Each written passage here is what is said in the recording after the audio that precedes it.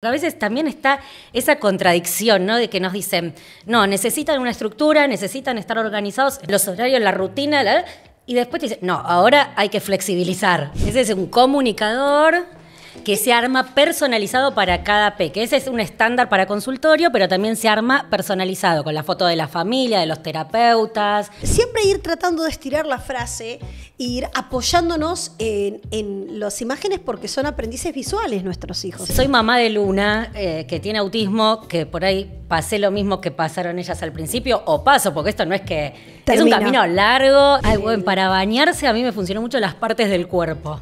Claro. eh, poner, eh, como porque si no, estaba en el baño y me decía, ¿y ahora?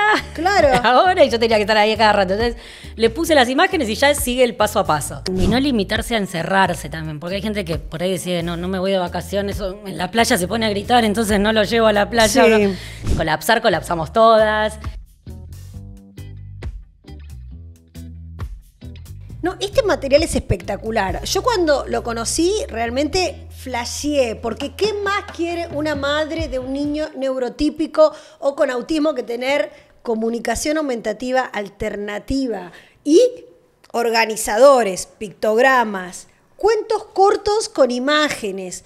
Cuando me di cuenta quién lo estaba haciendo, flasheé el doble. Hola, Caro, ¿cómo andás? Hola, hola. Caro, dueña de Llegando a la Luna, la empresa argentina, la pyme argentina que se dedica a hacer un montón de material súper importante para todas las mamás de niños neurodiversos. Encima mi pariente. Esta es la No. noticia. Bien.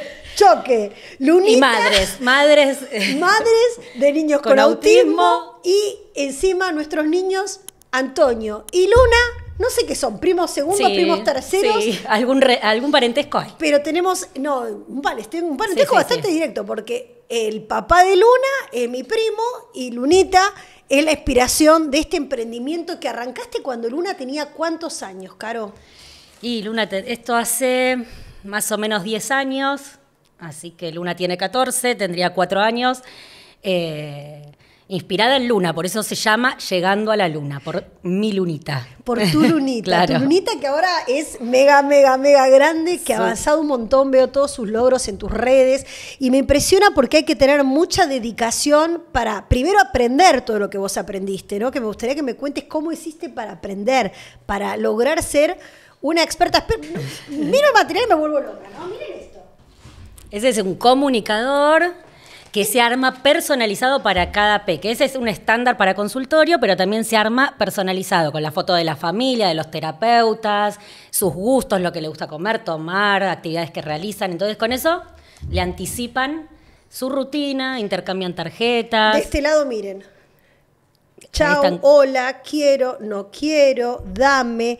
Esto también sirve para usar las manos y también casi pasarlo al lenguaje un poco bimodal, eh, algunas de las cosas, ir al baño, esperar un poquito, no empujar. A mí me impresiona cada vez que le muestro alguna, algún pictograma a Antonio, la respuesta inmediata, la capacidad de aprendizaje. Viste que Es como que la imagen llega más rápido al cerebro y también... son aprendices visuales. Y lo que decías recién, los gestos también es una forma de comunicar, ¿no? Bueno, pero te había preguntado cómo aprendiste. Eh, bueno, empecé haciéndole. Yo estudié diseño gráfico, eh, jamás había pensado en este mundo del autismo, era algo que desconocía.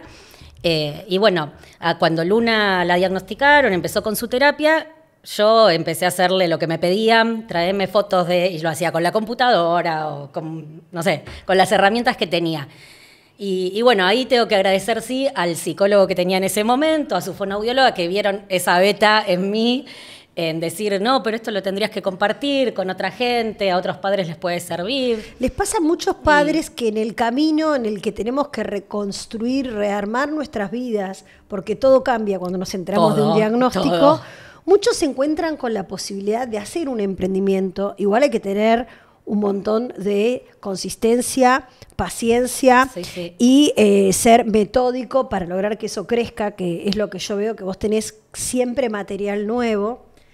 En- pero a su vez, no solo lo usás para tu hija, sino que estás ayudando a transformar la vida y las terapias de otras familias que, que tal vez ni conocen que está este material y que los puede ayudar tanto. Sí, la verdad que eso es lo que eh, amo, amo de este trabajo ver eso, ver que los chicos lo acepten, los resultados, al margen de que vivo de esto.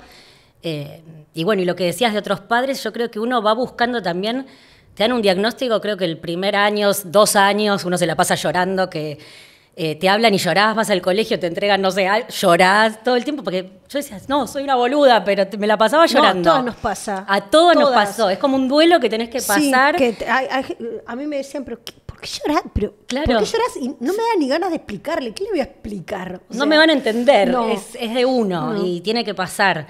Y yo creo que cada padre va encontrando la manera, ¿no? De, a veces se unen en grupos de padres, de otros padres que, que estén pasando por lo mismo o parecido y ahí comparten experiencias y eso ayuda. En mi caso no, no me pasó, pero yo me metí de lleno a hacer material y bueno, y gracias al material estar en contacto con un montón de terapeutas que me fueron enseñando. O sea, yo iba con mi, con mi carpetita, porque ahí en ese momento no iba ni con material, con mi carpetita, con fotocopias, con ideas y la generosidad que tuvieron en... Eh, en compartirme cómo podía mejorar, qué otro material se podía hacer y aprovechaba también por ahí para comentar algo de Luna y ir aprendiendo. Esto de ir aprendiendo es algo muy importante para familias que están empezando o familias que tal vez ya hace muchos años que están y hay un momento, viste, que uno como que tira la toalla, se olvida de esos recursos que había hurgado cuando era chico, el nene, dice, no, igual no le sirvieron. Y a veces los nenes, tres años más tarde, el mismo material que no le habían dado bola, les empieza a ser significativo para generar todo lo que ya sabemos de la comunicación que queremos lograr, de las emociones que queremos que, que, expresen, y también de la organización del mundo. ¿no? Una, una una vez me dijo, el autismo o la falta de lenguaje en el autismo es un poco la falta de organización del mundo, un mundo que te mm. invade y que no lo puedes organizar con palabras. Por eso materiales como esto eh, que yo siempre quería entrevistarte porque la verdad es que me parece grandiosa la multiplicidad de opciones que vos tenés. Pues mucho, mucho. Mucho laburo atrás, mucho. Ustedes fíjense, ¿no? Cantar, jugar con la pelota, los números, menos ¿Cómo se dice menos con el pictograma? Puedes encontrarlos en internet los pictogramas. Claro, pero esto se descarga, acá, sí. esto se descarga gratuitamente. gratuitamente pero hay que hacerlo, buscarlo. Plastificarlo, ponerle el coso este, ponerlos en una carpeta porque se te pierde, después ya te afiaca. ¿Quieres ir a la plaza? Vamos a escribir. bueno, las masas, diferentes tipos de opciones de juego. Estás un fin de semana, el pibe está caminando por las paredes, no sabes cómo sacarle la tecnología. Las opciones. Sí. Pero lo que decías recién también de que a veces lo que no funciona en un momento, por ahí después sí, y a veces pasa que, o sea, hay, que aceptar, hay que aceptar esto que nos atraviesa, aceptarlo, buscar las herramientas y, bueno, ir de a poquito y, buscarle la vuelta. No es que porque la primera vez que se lo muestres y el pibe no miró las tarjetas, ya, no, esto no funciona. No. Hay que buscarle la vuelta a cada chico. Y muchos padres también lo que pasa es que se, algunos se resignan a que, bueno, ya está y y, del cansancio mismo que la burocracia que hay, que eso también cansa, porque ese no es solo el autismo, te cansa más la burocracia de los papeles, de todo lo que hay que presentar. De... Te cansan más las barreras que te pone el exterior que el autismo en sí mismo. Ahora, eh, es muy importante esto de retomar, digamos, peleas o luchas que uno tenía, porque es muy impresionante lo que pasa dos, tres años después. Yo tengo la casa llena de pictogramas porque desde que conté lo del diagnóstico de Antonio empezaron a llegar claro, regalos. emprendedores con cartas, con dibujos. Yo decía, ay, ¿qué, ¿Qué todo yo soy revolada. Digo, ay, ¿qué hago? ¿Cómo organizo? No podía usar los calendarios por mí, una dificultad mía. Este, entonces agarraba y cada vez que quería hacer una actividad usaba el pictograma. Cuando las cartas, las cartas de colores, dije, vamos a hacer un juego. Las ponemos así y las damos vuelta y tratamos como de adivinar. Otro juego, no sé, a ponerlas por número, ponerlas por colores, ponerlas por forma. Vas buscándole sí, la trabajas un montón. claro, pero a su vez estás haciéndole un favor a él porque está aprendiendo a jugar y está disfrutando el juego con otro, sí, sí. Con, a través de una imagen, que es algo que lo baja, y a su vez este, vos estás pudiendo tener un momento de juego con tu hijo o podés tener una conversación en la que le contás lo que vas haciendo o lo que querés que haga o, las opciones. Mira, esto es, muy impresionante. Yo me acuerdo una vez que vos me mandaste uno de supermercados. Ah, que en un changuito de supermercados poníamos todas las, las cosas que íbamos a ir a comprar, entonces hacíamos la lista. del gustó. Le encantó. Bien. Porque aparte le encanta meter en el changuito cosas. Antes, si te hablo tres, cua- eh, cuatro años atrás, todo el tiempo corriendo, se me escapaba. Era una locura ir al supermercado. Pero luego volvés a insistir con lo mismo. Bueno, yo y empezaba funciona. yendo a comprar dos productos. Iba y compraba, no sé, yerba y otra cosita. Y así ir a- a- eh, haciendo una compra más grande para ir practicando. Y, y bueno, y uno aprende también a tener, yo porque soy muy acelerada, eh, voy, vengo, voy, vengo.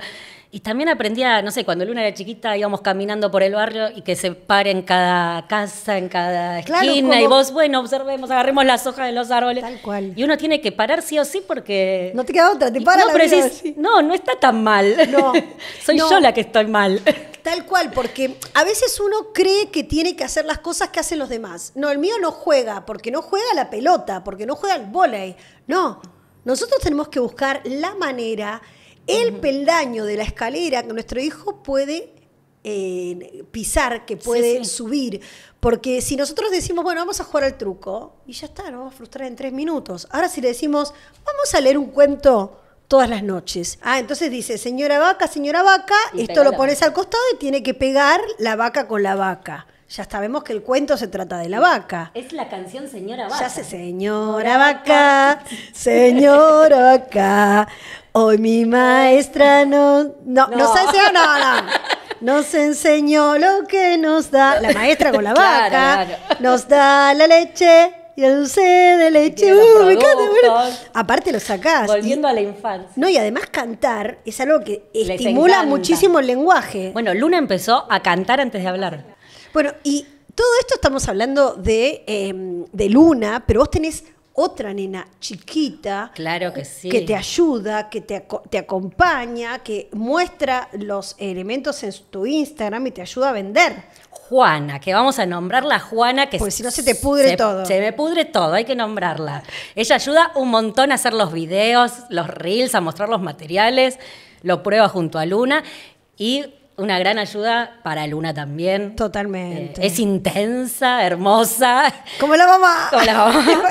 Pero creo que eso ayuda, ayuda. Totalmente, tener un hermano que alguien te convoque con esa, la convocatoria fuerte, Intensa. intensa, siempre suma. Sí. En- decime cuál del, cuál fue el material con el que vos dijiste esta es la que va, que viste que Luna hizo algo que no hacía hasta ese momento.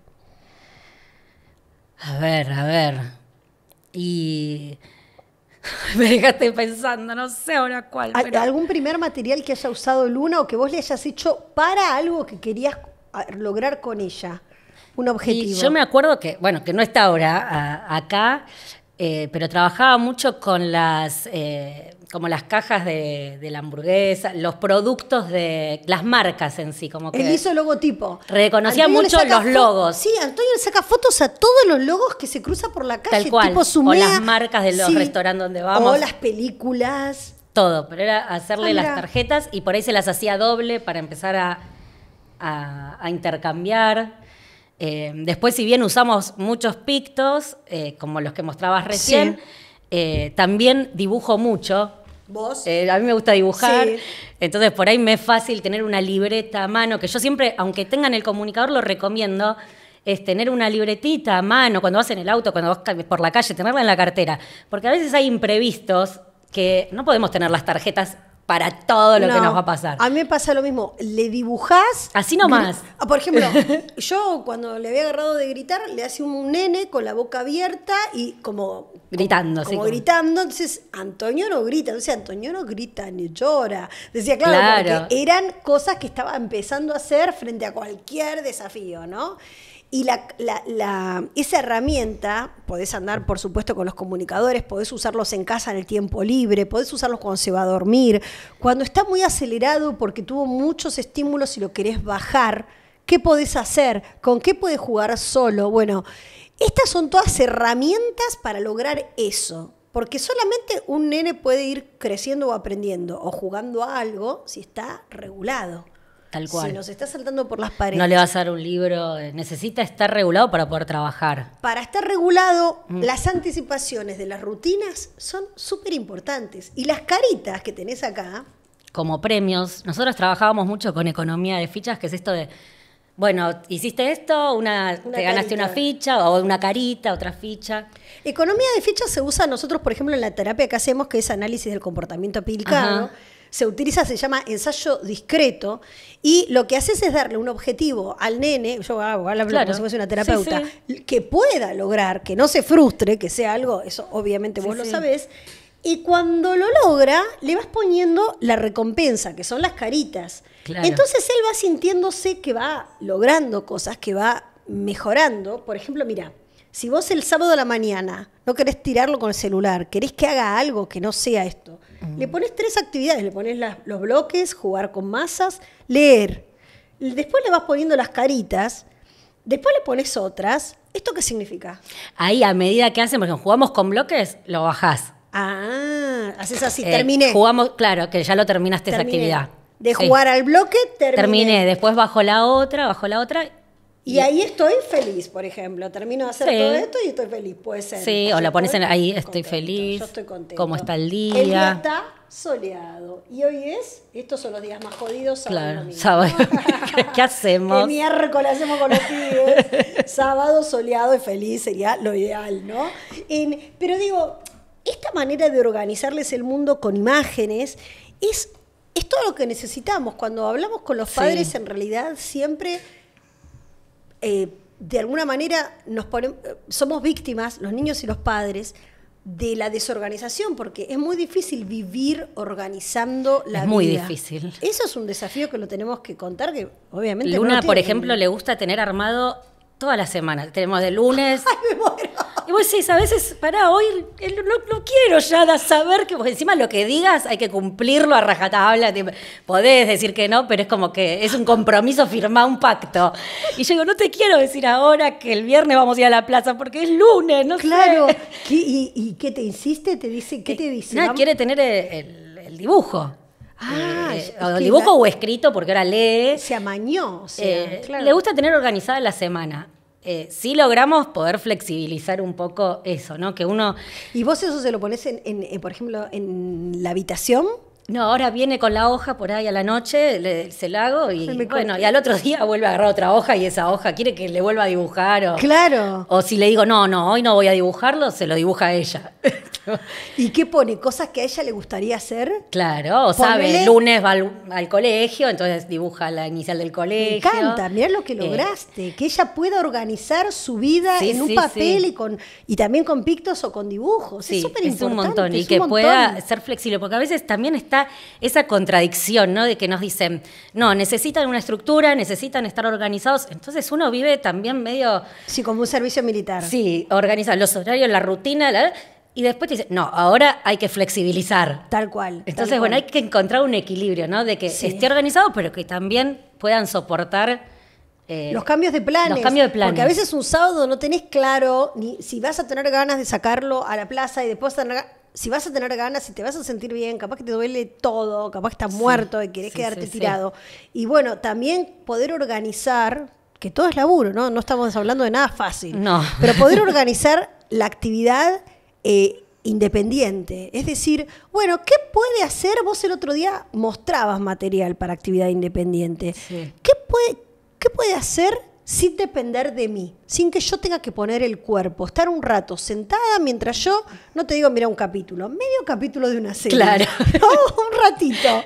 Que a uno le hace súper bien lograr eso, Sí, mínimo, sí, ¿no? sí. Y la gente se ve cagar de risa los que no tienen hijos con autismo. Pero para nosotros es un, Es un montón. montón. Y acá creo que era este cuaderno de actividades o era ah, otro. quedó por allá. Bueno, Agárralo, anda a buscarlo. Porque son tantas las cosas. Yo no sé cómo te da la cabeza para hacer tantas cosas. Es muy bueno todo esto, es muy, muy práctico. Ahí está. Mira, son cuadernos de actividades, entonces le decís, bueno, primero le sacás todas estas que están con velcro, ¿sí? Sí. Y él tiene que aparear, o ella tiene que seguir la secuencia. seguir el, del patrón, seguir el patrón, ¿no? Ahí Eh, ya parecemos terapeutas. acá no, porque hay también creo que algunos jueguitos en, en los celulares que hacen esto. Lo que Sí. pasa con el celular se te puede ir a YouTube, se te puede ir a la miércoles, se te puede poner a jugar a otra cosa. Bueno, muchas ideas las he sacado también de mirar qué jueguito le gustaba en el celu, si le gustaba Y algo en el supermercado. Lo que pasa es que después no podés cortar con el celu, es adictivo Claro. y esto no. Sí, sí. ¿eh? Acá, ¿qué es lo que pones? A las color. cosas de color. Categorías estamos trabajando. Esto es una de las cosas que se trabaja en terapia Los colores. para organizar justamente el mundo. Entonces, ¿no? despegan de un lado, pegan en el otro. ¿Ves? Rojo, bueno, pones el, el tomate, el globo, Sí. la sandía. Este, ya está acomodado este, pero de- debería estar mezclado, ¿no? Eh, después, ¿qué es? Personajes de Pero- Pocoyo. Ay, de pero ¿y yo qué sé lo que es de Pocoyo? Ah, vos no. todo? ¿Pero vos sabés qué, qué corresponde a Pocoyo todo esto? Este es ping-pong. Ese ping-pong es de Este de Pocoyo. Pepe. Ese de Pocoyo, bien. Y es, bueno, pero vos la tenés. Esos son de Cars. Los chicos saben. Los chicos saben. Saben más que Claro, tenés razón. Obviamente, si el chico no mira No, nunca sí, esos sí. dibujitos, pero. Sí, yo muchas veces también incluso con el teléfono no entiendo a qué está jugando. No sé cómo hace, ya sé, ay, los chicos vienen con un celular en la mano, no, pero sí. eh, uno está en otra, ¿no? Más disperso.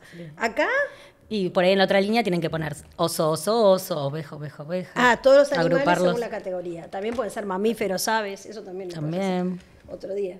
Esto, Ah, ahí está puesta, las tapas. Las tapas de las ollas, cuál va en cada una, las cantidades. ¿sí? Bueno, y esto que te- 10 minutos te tarda el pibe. Y sí, un ratito va a tardar. Y después le pones al lado de esto, le pones una, imprimís en la computadora un dibujo para que lo pinte. Sí. Y al lado de eso le pones un cartel, eso eh, lo estoy Pero- instrumentando con, con Antonio ahora, que dice terminé. Ajá. Entonces él está ahí, hace todo eso y, Y después me trae. trae el cartel que dice terminé. Está bueno. Yo dije, la puta madre, terminaste tan rápido. terminé, terminé, terminé. Igual sí. un poco más. Pero bueno, Hay que poner el cuerpo, la verdad que. es- Ah, no queda otra que poner el cuerpo, pero lo que, lo que tenemos que siempre es recurrir a personas creativas, como en el caso, por eso me gusta hacerte esta nota, mostrar tu material, pedirles a todos que sigan arroba llegando a la luna en Instagram, porque muchas veces la gente, no todos son diseñadores, ni todos son creativos, ni todos tienen tanta onda, hay gente que le cuesta mucho más y que realmente no se copa con jugar con los nenes. Es, eh, hay que tener también una personalidad especial Yo para creo tener que, esta paciencia. que lo que tiene más allá de- del material y los cuadernillos que, que bueno, que, que por suerte los chicos lo, lo aceptan, es que soy mamá de Luna, eh, que tiene autismo, que por ahí pasé lo mismo que pasaron ellas al principio, o paso, porque esto no es que... Es un camino largo y la puedo tener clara en algunas cosas, pero esto, eh, las, la- colapsar, colapsamos todas.